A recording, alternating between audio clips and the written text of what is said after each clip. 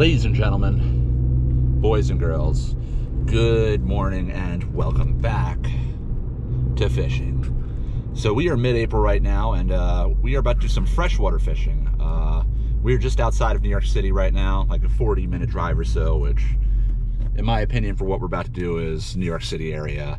Uh, but yeah, we're about to launch some kayaks, uh, meeting up with my friend Ryan, co-worker and all that stuff. Uh, he fished with me a couple sessions ago and we're gonna try and get on some largemouth bass. At least that's what I'm assuming. I've never fished this spot before, so hopefully this uh, goes well.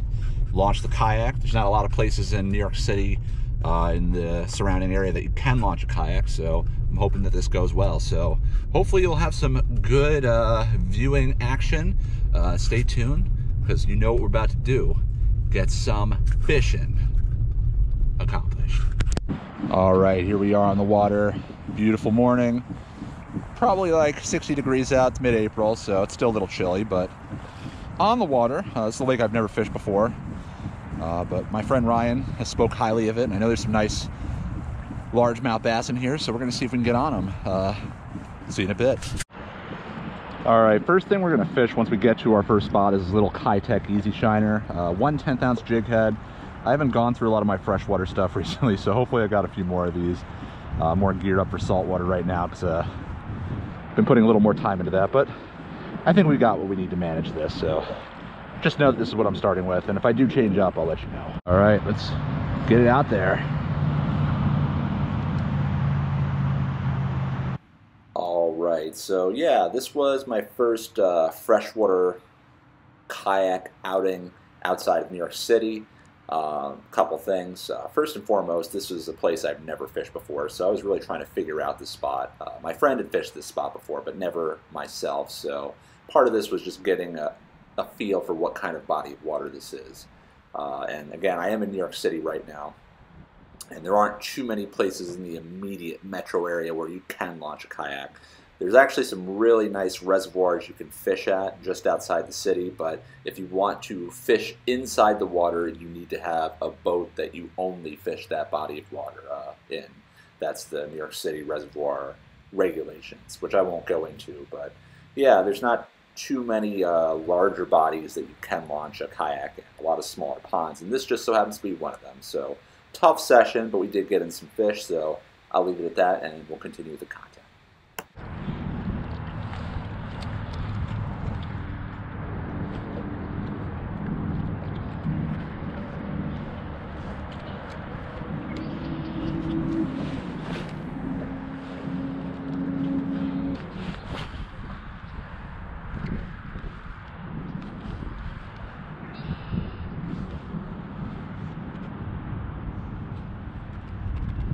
Pretty deep right here.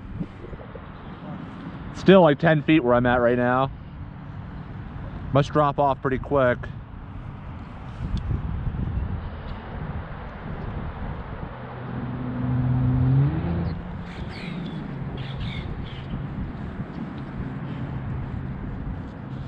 Oh, oh, yeah. Good fish too.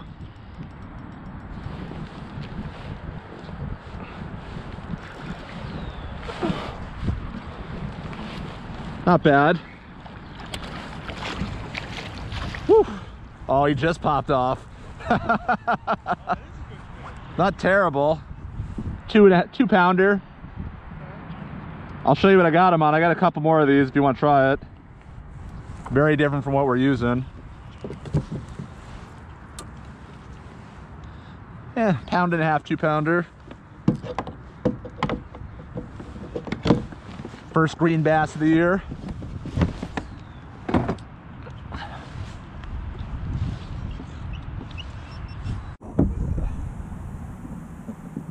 All right, let's get him back. You want to see a, get a close look or are you good? Oh yeah, that's a good looking fish right there. Healthy, yeah. Nice big mouth on it. He's gonna, it looks like he'll even fatten up more. Yeah, let's get him back. All right, So cool. wait, oh, that's a tiny crank. Yeah, I got more too. I'll let you get one if you want, if you got nothing like that. All right, we just got a nice little largemouth, good pound and a half, two pound fish, healthy. First green bass of the year. Oh, look, turtle over there. We got America birds all over the place, turtles. What more can you ask for other than more fish? But we got that fish in a little tiny crankbait, Big O. Uh, followed it right up to the boat. Let's see if we can replicate that and get on some more fish. Literally the only thing. Yeah. Oh yeah. we on a bite, buddy. Yeah. Baby, but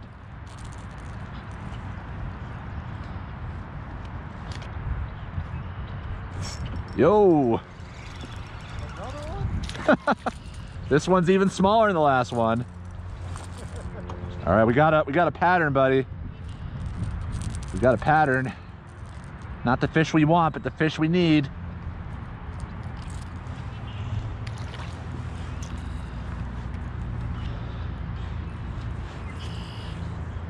Wondering what's going on here.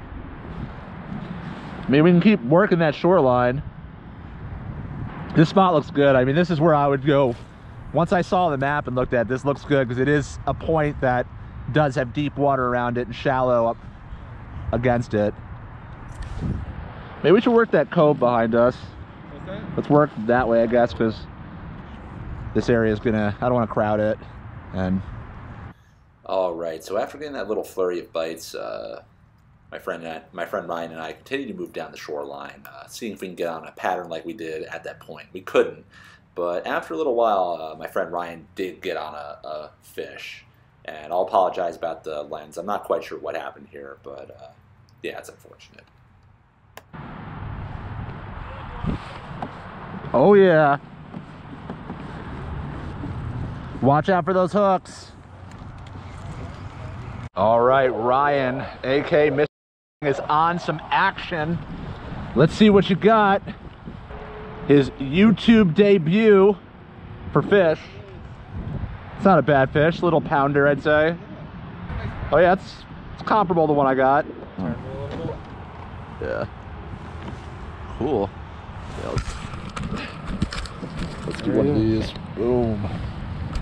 Elevator eyes that fish. yeah. All right. Let's get him back. All right. Peace out, friend. Pound and a half on the. What'd you get him on, Ryan? Uh, that was on the like rainbowish crankbait. All right, fire tiger, whatever it is. I don't yeah, know. Yeah, fire tiger, I think. Probably something like that. Yeah.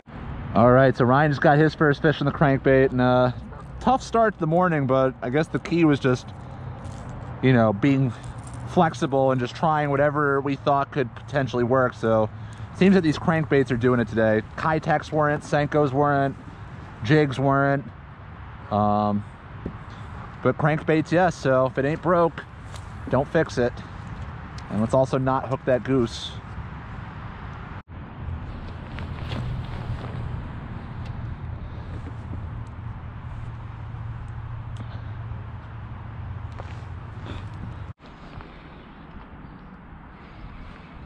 This No, yeah. I mean, especially once it gets a little warmer, this will be definitely a good spot. I'm not sure how many fish have moved into here right now, though. It is definitely getting shallower.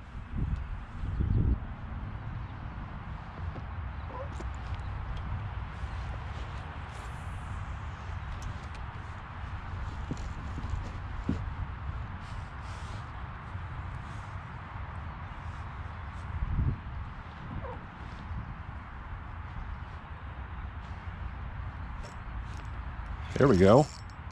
Yeah. No, actually, I'm stuck on something. I felt like for a second there was a fish on there. And there is. Oh, I was like, wait a minute. Something's not right here. Man, my fish are just getting smaller and smaller. Thing, you can pretty much throw it on the hook. Oh, it would make splendid bait, but unfortunately it's a largemouth bass. I think I'm in about a foot and a half of water. Yeah, I'm gonna have to back up. All right, getting down to the nitty gritty. See if we can get a fish or two more before we call it a day. So there you have it. Uh, after we got that small fish, uh, we didn't really have much action afterwards, and this was a short session, just the morning. Uh, we had to be out of the water by close to 11 o'clock, so if we had all day, we probably could have figured out the fish, but uh, it was, again, just a short little session. So there you have it. Uh, Nothing to write home about, of course, but I figured it'd be nice to do something other than trout for freshwater. And I'm hoping to get one or two good freshwater bass videos out before the summer really gets in full swing. So that'll do it. Uh, make sure to like and subscribe and all that fun stuff for the video. You know how to do. Uh, and of course, more stuff to come soon. And goodbye from fishing.